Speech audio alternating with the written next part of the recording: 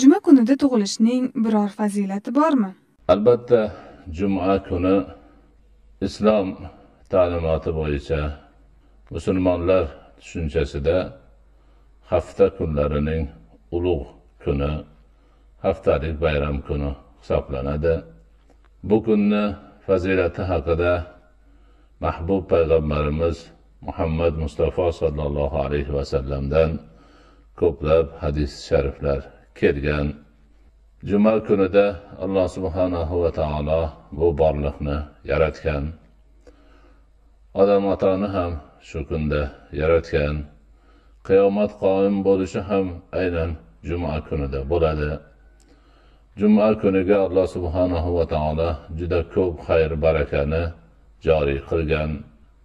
Hop juma kuni bir soat bo'lib unda qilinadigan duolar ijobat bo'lishi ochiq oydin va shunga o'xshash jumani fazli haqida gaplar ko'p. Lekin juma kuni tug'ilish biror kishiga imtiyoz berishi unga qandaydir bir boshqalardan ustunlik ato qilishi ma'nosida hech qanday xabar hadis yoki tushuncha yo'q. Bizning dinimiz islom dini voqelik dini o'laroq bir kishini tug'ilishi yoki o'lishi biror kunga to'g'rilanishi oqibatida uning boshqalardan ayricha bir fazlga qandaydir ustunlikka erishishi ma'nosida yo'q. Balki fazl ustunlik imtiyoz bandaning taqvosiga qarab ibodatiga qarab qiladigan amali solihiga qarab belgilanadi.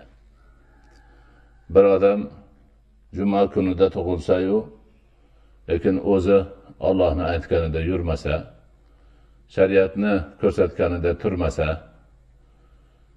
ibodat taqvo amali solih qilmasa unga hech qanaqa fazilat yo'q. Aksincha boshqa bir kunda tug'ilgan inson iymon keltirib ibodat qilib taqvo va amali solihlar qilsa ana o'sha unga fazilat bo'ladi. Bas shundan kelib chiqib biz aytamizki juma kunida tug'ilishning fazilati demak taqvo bilan bo'ladi ibodat bilan bo'ladi iymon e'tiqod amali solih bilan bo'ladi.